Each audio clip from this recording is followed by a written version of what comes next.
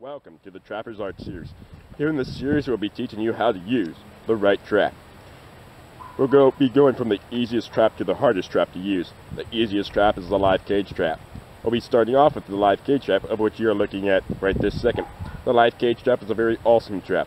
Anybody from the age of 8 on up can do it, and anybody younger 8 needs adult supervision. This trap is so easy to use. It's unbelievable. It's very humane. It does not kill the animal, hence the name live cage trap. It's forgiving. If you catch something you don't want, you can just release it. Anybody can set this trap. The parts include a handle, a door, and a panel. And now Blake Alma will be teaching you this great art. This is Blake Alma from RV Outdoors. I'm glad to welcome you to our new series, The Trapper's Art.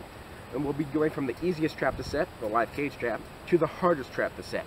And so before we begin, I would like to talk to you about getting your trapper's education course. This code right here enables me to let me trap because I know what I'm doing. To get this, you can go on your local website, DNR website, and get this and look up the trapper's education course. Some states have it, some states don't. And so to trap here in Ohio, you need this card and your license. And so uh, if you plan on trapping for fur bearing, you need this. Now if you're trapping to get rid of your local pest in your area, you do not need this card. This card enables me to trap. Saying I know how to trap. I'm safe because I passed this test. So, this card is very recommended by me. And you need it to trap fur Now here I have the Live cage trap. Live cage trap is by far the easiest trap. Anybody from the age 8 on up can do it. Now if you're younger than the age of 8, I would recommend having adult supervision. Now how to set this trap, it's very easy. It's made out of four main parts, the door, the lever, and the panel and the handle.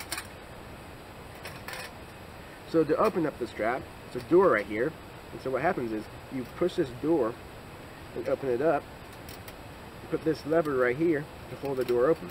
The door is now open. Now, you usually have this on the ground, sometimes in the water. You put bait in the very back of the trap.